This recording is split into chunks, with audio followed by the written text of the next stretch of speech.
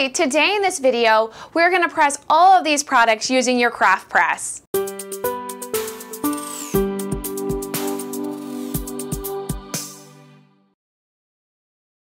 Hi, I'm Danielle from Pro World, and today we're gonna press some items using our craft press. So the first item that we'll be pressing is our photo panel. We have our sublimation print that's already a mirrored print, and we're going to take our photo panel, remove the protective coating, and place the glossy white side face down onto the print. Tape your design to the photo panel and cover with your nonstick sheet. We have our craft press set at 392 degrees for about 70 seconds. You can be anywhere between one and three minutes for a photo panel depending on your size. And just lift it off of your heating tray and place it on and start. This is now going to count down and it will beep when our time is up. Okay, remove your craft press off and place it here to cool. Remove your nonstick sheet. Oh, get your glove on.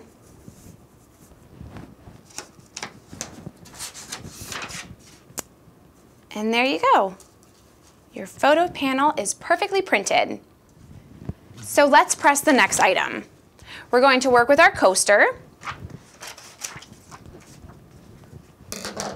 Remove your protective sheet. And place your coaster face down onto your print. And then we'll tape the coaster to the paper with our thermal tape.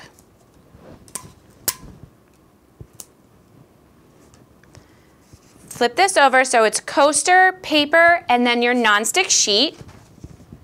And we're going to press this one for the 392 degrees for 70 seconds. So we're just gonna hit our setting icon twice to adjust our time and hit set again. And now we'll lift it up, place it on, and press your power button. Okay, our press is done. Let's remove it off here, put it in your tray, remove your nonstick sheet, and remove your print. And your coaster is complete. Now we'll press one of our pillows. And this one we're gonna do the glitter pillow. So we have to adjust our temperature. We should be at 385 for 70 seconds.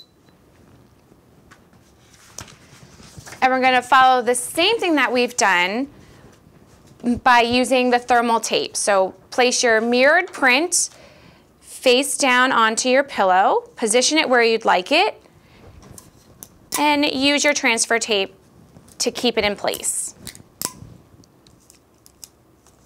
Cover with your nonstick sheet. Lift up your press and cover your print and go ahead and press your power button to start.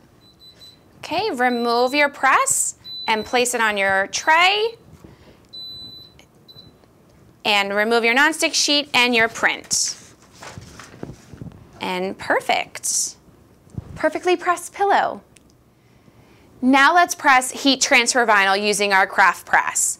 We're going to have to adjust our setting since we were printing sublimation products. Now we'll adjust it to our vinyl setting. I like to be about 20 degrees more than what the standard application setting is for a heat press. So for our EasyWeed, we would be at 305. So I'm going to adjust this to 325. And I'm going to increase our time from 10 to 15 seconds to 20 seconds. I also have to set our vibration.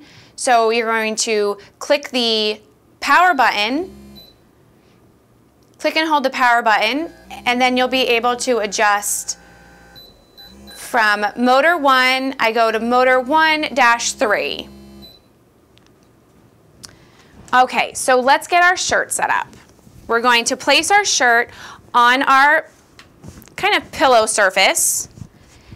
And I like to place the collar just outside that surface area. Then place our vinyl even where we'd like it. cover with your nonstick sheet and bring your press over and place it right on top of your vinyl and press your power button. We're just gonna hold it here because I don't like it to move around. And you could apply a little bit of pressure as well. Okay, take your press, place it over here, remove your nonstick sheet, and peel back your carrier sheet. And there you go. Perfect.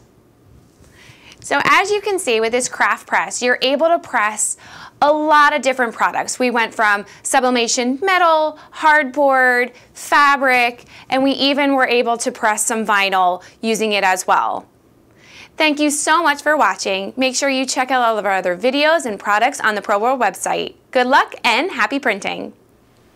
All the products used in today's video are listed with links below and can be found on ProWorldInc.com. If you've enjoyed this video, be sure to subscribe.